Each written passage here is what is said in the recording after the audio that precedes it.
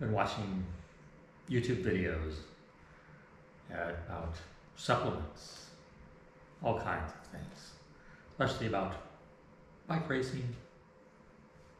And let's say you want to prepare your bike. It's easy to test.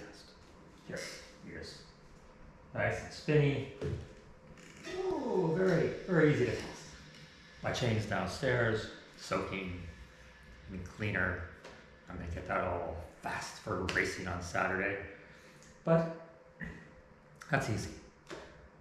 A lot of you are probably taking supplements, or you want to take supplements. But if you're racing, you're probably taking supplements. And how do you know? How do you test? And so I watched a YouTube video today about you know blood tests and whether you should take supplements, not supplements. And well, I'll tell you my experience because you know I've been doing this for a long time. And some supplements have almost killed me, and others have saved my life. And it's sort of important. So, the first thing, of course, is the blood test. So, how many of you can go to your doctor and say, you know, doc, I think my testosterone is too low, or oh, I think my iron is off, or should I be taking magnesium? Well, your doctor is going to laugh at you or say, You're just an old man looking for drugs, like my doctor did. And they're not going to help you.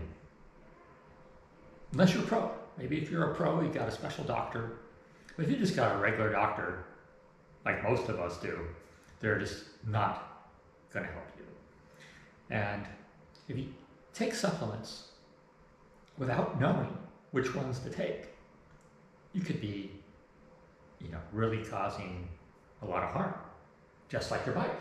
If you set up your bike wrong, you could get really hurt. You could crash. I've seen it. I've been in it. It's really not pleasant, especially with your body. How many of you have heard of people, you know, on the news or whatever, anywhere, it says, oh, this person died because they took too much supplements.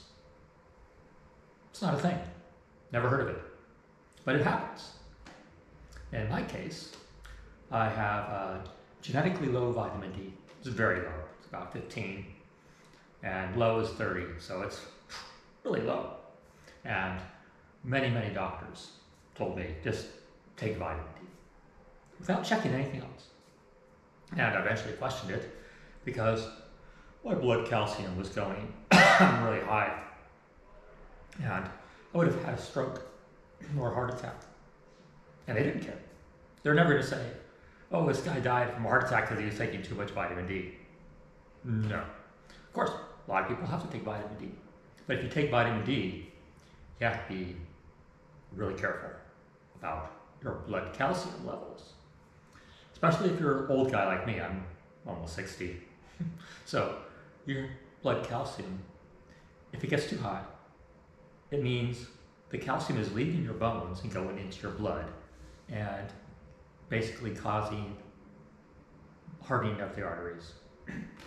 and you will get a heart attack or a stroke. Just the way it is. You don't want that. I wouldn't think. So, luckily, I caught myself and uh, from a blood test, and I saw my calcium was going up really high. And so I stopped following that advice of the doctor. And uh, that was really important. And at the same time, when I was bike racing and trying to train, I had a heart condition. My heart rate would go up to 224. It just boom, shoot up. And I went through a whole series of doctors. Uh, doctors said, "Oh, don't worry about it." Another doctor said, "Oh, you've got PTSD." Another doctor said, "Oh, you've just got a hole in your heart." All kinds of things. Other doctors, yeah. Uh, so eventually, through a blood test, I, I by the way, I pay, just pay for them myself. I use a company just on the, online. The doctor isn't going to help you with this. okay. Oh, I want a full analysis of my blood. No, I'm sorry, your doctor is not going to help you. No. So I use an online service. I do it myself. And uh, I found out uh, two years ago. It said uh, high risk of sudden cardiac death. Oh God. So, of course, I go to my doctor at the time, and he's, well, I don't know.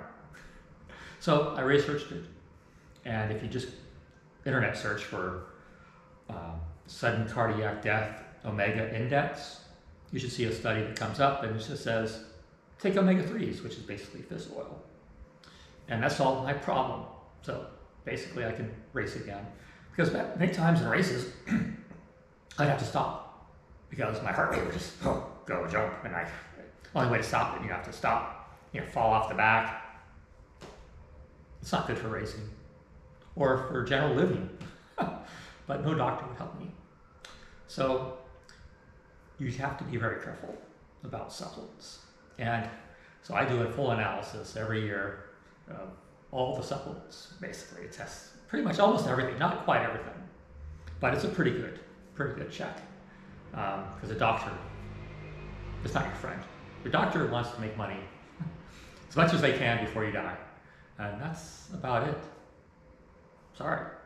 It's the way the world works. Bye.